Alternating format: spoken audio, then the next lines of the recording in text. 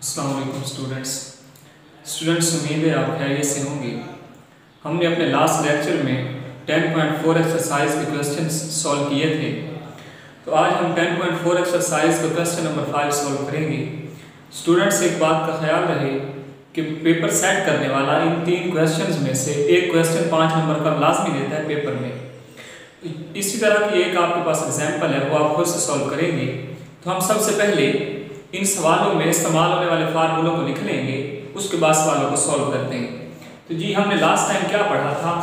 अगर हमारे पास हो two sine alpha cos beta तो क्या लिखा था? Sine alpha plus beta plus sine alpha minus beta जब उसके बाद लिखा था two cos alpha sine beta जी क्या लिखा था?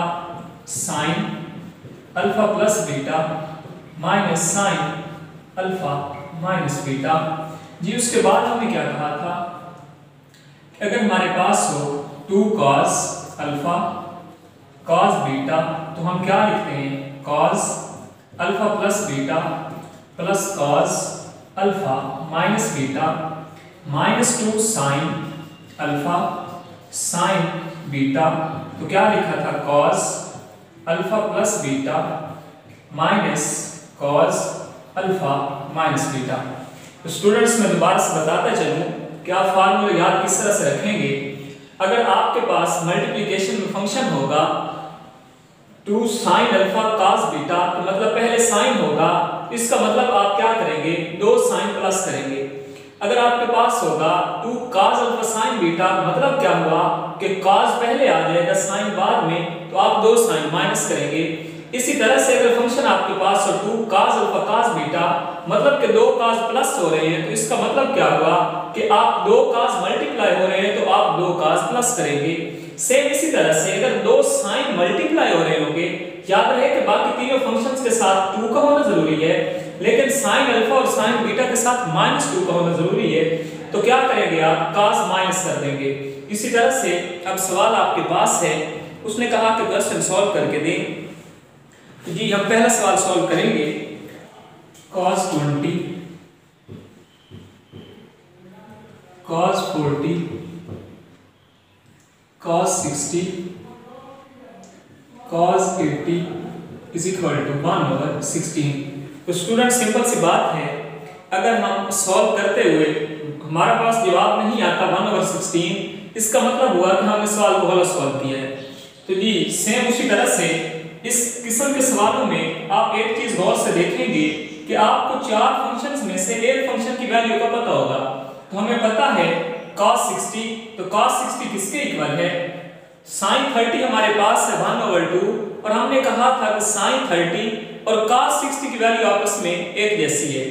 तो cos 60 की वैल्यू क्या हुई? 1 ओवर 2 cos 20 cos 40 और साथ में cos 80 वैसे का, वैसे। स्टूडेंट्स गौर से देखें, हमने कहा कि जब दो cos मल्टीप्लाई हो रहे हो तो हम दो cos प्लस करते हैं, लेकिन साथ में कहा कि स्टार में 2 का होना लाजमी है। तो हम स्टार में 2 किस तरह से लगाएँगे? लिखेंगे 1 ओवर 4 2 cos 20 cos 40 और cos 80 वैसे का वैसे। जी हमने क्या किया? टू से डिवाइड भी कर दिया और टू से साथ में मल्टीप्लाई भी कर दिया। अब क्या लिखेंगे? 1 ओवर 4 जी, दो cos मल्टीप्लाई हो रहे हैं तो हमने किसमें लिखना है? जी, cos 2 प्लस में। तो क्या बन जाएगा? cos 20 plus 40 plus cos twenty minus 40 और ये cos 80 वैसे का वैसे। जी, क्या करते हैं? 1 over 4 cos 60 plus cos 20 students एक बात का ख्याल रहे कि हमने क्या लिखा? जवाब आ रहा था cos माइनस ट्वेंटी तो हमने क्या किया? Cos और secant का एंगल का माइनस हो उसे इग्नोर कर देते हैं। जी तो ये क्या बन जाएगा? One over 4 cos 60 cos 80 plus one over 4 cos 20 और साथ में cos 80 क्या किया मैंने? 1 ओवर 4 और cos 80 को दोनों टर्मों से मल्टीप्लाई कर दिया है। तो जी, क्या बनेगा? 1 ओवर 4 फिर से मेरे पास है cos 60 इसकी जगह पे मैं लिखूँगा 1 ओवर 2 कॉस एटी वैसे का वैसे, plus one over eight, two cos twenty, cos eighty, same उसी तरह से। अगर मेरे पास यहाँ पे स्टार्ट में टू ना होता तो मैं इसे प्लस में ना लिख सकता। तो मैंने क्या किया? टू से मल्टीप्लाई भी कर दिया है, टू से डिवाइड भी कर दिया है। तो ये क्या बन जाएगा? One over eight cos eighty plus one over eight जी क्या करेंगे? उसी तरह से दो कॉस प्लस करेंगे तो क्या बनेगा कॉस मैं डायरेक्ट लिखूँगा twenty plus eighty is equal to hundred plus twenty minus eighty जवाब मेरे पास किसमें है? माइनस सिक्सटी में। तो हम किसमें लिखेंगे कि कॉस के एंगल का माइनस इग्नोर कर देते हैं। तो क्या लिखेंगे? Cos 60 वैसे का वैसे। जी, ये मेरे पास क्या बन जाएगा? One over eight cos 80 plus one over eight cos 100 plus one over eight cos 60 तो स्टूडेंट्स अगर आपको थोड़ा सा याद हो, हमने 10.1 एक्सरसाइज का पहला क्वेश्चन सॉल्व करते हुए क्या कहा था कि हम वैल्यू को सॉल्व करते हुए किसी न किसी सहारे पे पहुँचते हैं। तो इसको लिख सकते हैं one over eight cos 80 plus one over eight cos 180 minus 80 तो ये मेरे पास क्या बनेगा? दोबारा से उसी तरह से 100 बन जाएगा। प्लस वन ओवर एट और cos 60 किसके इक्वल है? वन ओवर टू के। तो जी स्टूडेंट्स अब क्या करेंगे? आप गौर से देखें, cos के साथ फ़ंक्शन आपके पास मुकम्मल है। मतलब क्या हुआ? कि पाई है। जब एंगल हमारे पास मुकम्मल हो तो cos को उसी तरह से cos लिखेंगे।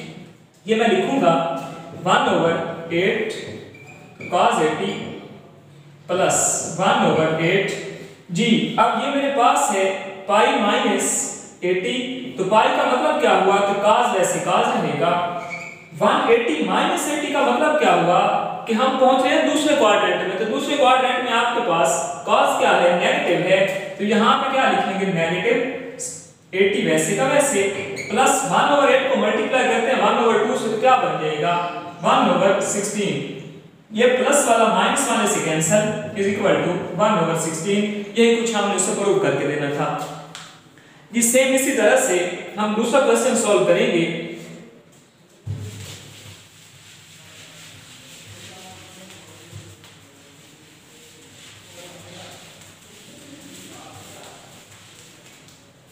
जी, दूसरे क्वेश्चन में उसने वैल्यूज़ हमें दे दिए रेडियन में हम सबसे पहले इसको कन्वर्ट करेंगे डिग्री में। तो हमारे पास सवाल है sine pi over nine sine two pi over nine sine pi over three sine four pi over nine is equal to three over sixteen जिससे उसी तरह से हमें इस बात का पता है कि पाई की, पाई किसके इक्वल है? पाई हमारे पास इक्वल है 180 के। तो हम क्या लिखेंगे? 180 डिवाइडेड बाय 9 तो ये बनेगा 20 साइन ये हमारे पास क्या बनेगा? 180 को मल्टीप्लाई करते हैं 2 से। तो हमारे पास जवाब आएगा 360 डिवाइड करते हैं 9 से तो हमारे पास जवाब क्या आ जाएगा? 40 साइन 60 और साइन 80 वैसे का वैसे। तो सेम पिछले सवाल की तरह, हमें चार में से एक की वैल्यू का पता है साइन 60 किसके इक्वल है? 3 ओवर 16 तो साइन 60 किसके इक्वल है? 3 अंडर रूट ओवर 2 के।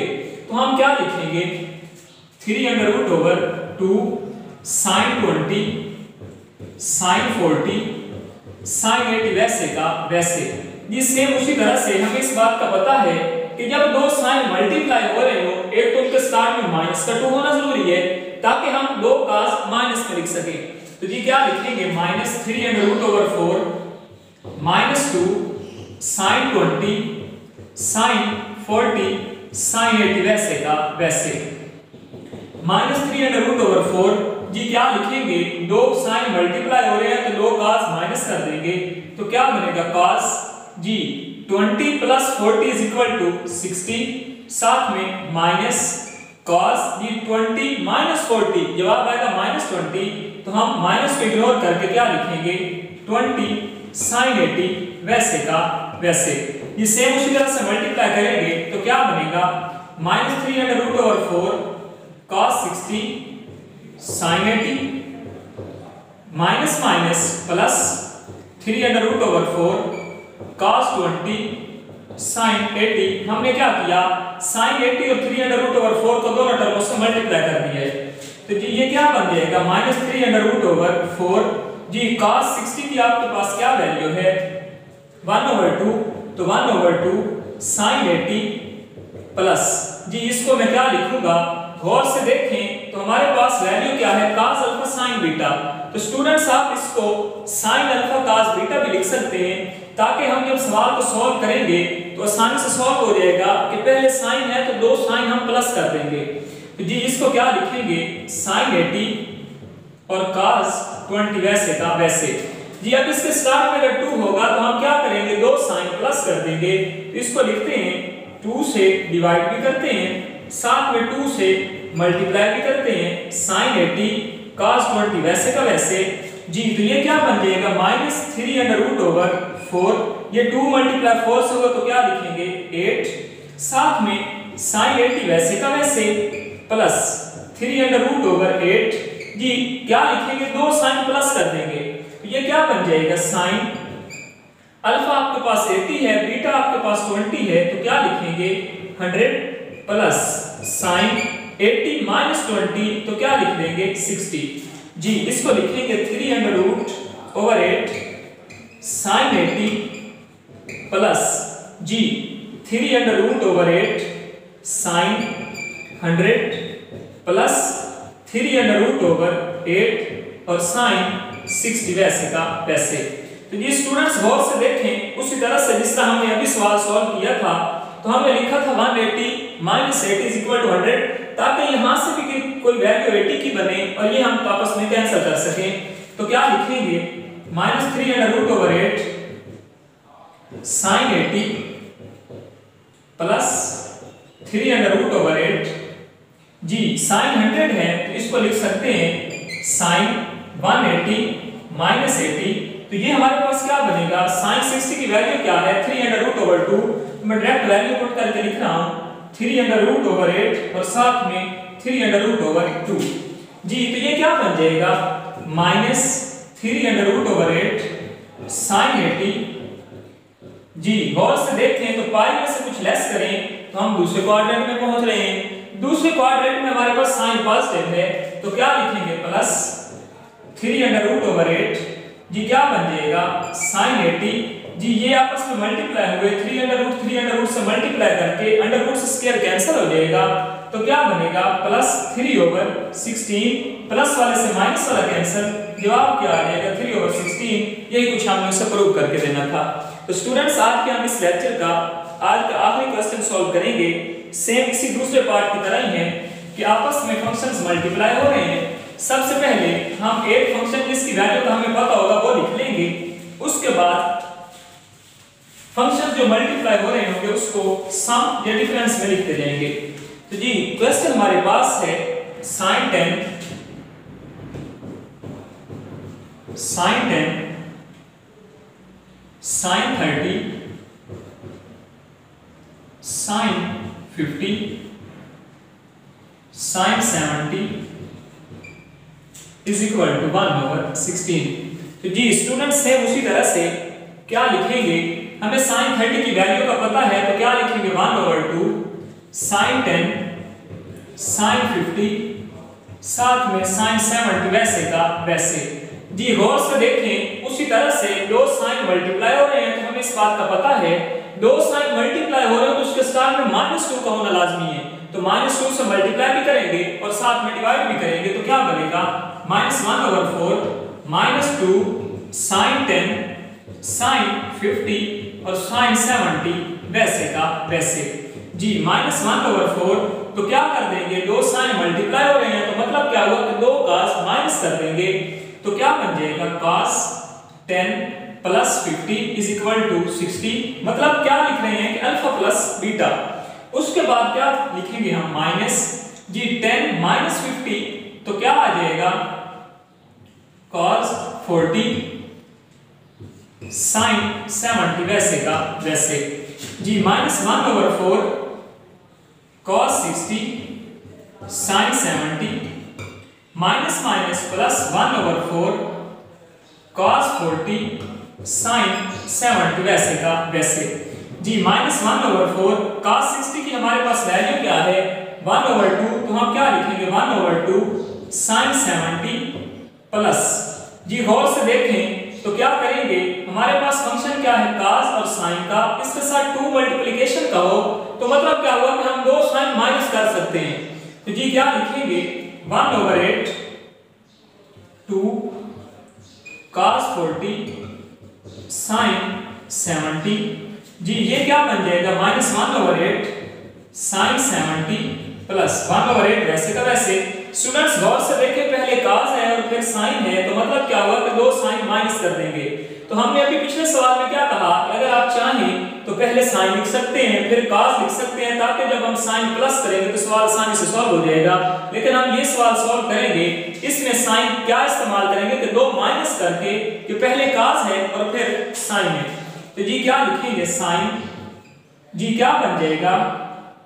40 plus 70 is equal to 110 minus ji sine forty minus seventy is equal to minus thirty.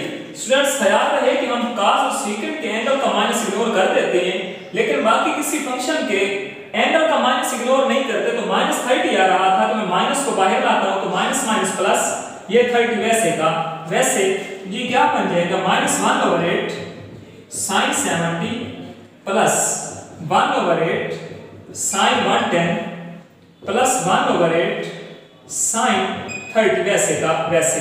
तो ये स्टूडेंट सेम उसी तरह से जिस तरह पहले अभी दो सवाल सॉल्व किए हैं, इसको कुछ ऐसी कंडीशन में लिखते हैं कि किसी तरीके से ये फ़ंक्शन आपस में कैंसिल हो जाए, साइन थर्टी की वैल्यू करके वन ओवर सिक्सटीन उसे प्रूव करके देना था तो हम क्या लिखेंगे? Minus one over eight, sine seventy plus one over eight, sine जी वन एटी, माइनस सेवेंटी और साथ में प्लस वन एट और साथ साइन थर्टी की क्या वैल्यू है? वन ओवर टू तो वन ओवर टू वैसे का वैसे minus one over eight sine seventy plus one over eight तो क्या बनेगा? Sine pi minus seventy plus one over sixteen वैसे का वैसे, इसको आपस में मल्टीप्लाई कर दिया है। Minus one over eight sine seventy plus one over eight students गौर से देखें तो मेरे पास एंगल क्या है? पाई में मतलब मुकम्मल एंगल है तो साइन चेंज नहीं होगा। पाई में से कुछ लेस करें तो हम पहुँच रहे हैं दूसरे क्वाड्रेंट में। तो दूसरे क्वाड्रेंट में हमारे पास साइन पॉजिटिव है। तो क्या बनेगा? सहारे को इग्नोर करते हैं। 70 प्लस 1 ओवर 16 प्लस वाले माइनस वाले से कैंसिल 1 ओवर 16 तो स्टूडेंट्स यही कुछ हमने उसे प्रूव करके देना था। तो उम्मीद है, आपको इन सवालों की समझ आ गई होगी। स्टूडेंट्स इन्हीं तीन सवालों में से, पाँचवें क्वेश्चन के तीन पार्ट्स में से पेपर सेट करने वाला एक क्वेश्चन देता है पाँच नंबर का। तो आप ये क्वेश्चन सॉल्व करेंगे। नेक्स्ट लेक्चर तक इजाज़त दीजिए। अपना ख्याल रखिएगा। हम नेक्स्ट लेक्चर में चैप्टर नंबर 11 को स्टार्ट करेंगे। अल्लाह हाफिज़।